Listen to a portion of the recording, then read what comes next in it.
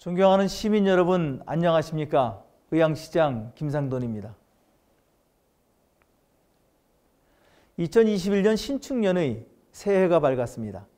시민 여러분 가정에 사랑과 행복이 가득하고 소망하시는 일들이 모두 이루어지는 한 해가 되시기를 기원드립니다. 지난 한 해는 코로나19의 장기화로 인해 사회 전체의 희생과 경제 침체 위기를 겪었던 아주 어렵고 힘든 한 해였습니다.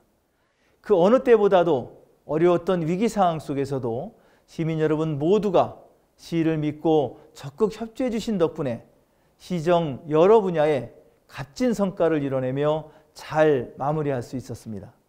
사랑하는 시민 여러분, 한 마음을 가지면 큰 의미의 대화합을 이룬다는 뜻의 보합 대화를 신년 화두로 삼아 2021년에는 지난해의 모든 시련과 어려움을 극복하고 침체된 경제에 활력을 불어넣는 희망찬 해가 되기를 바라며 시민 모두의 삶이 더욱 풍요롭고 행복해지는 의향시를 만들기 위해 온 힘을 다해 노력하겠습니다.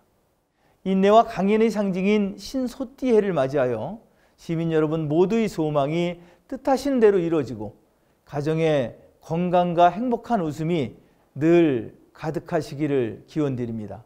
새해 복 많이 받으십시오. 감사합니다.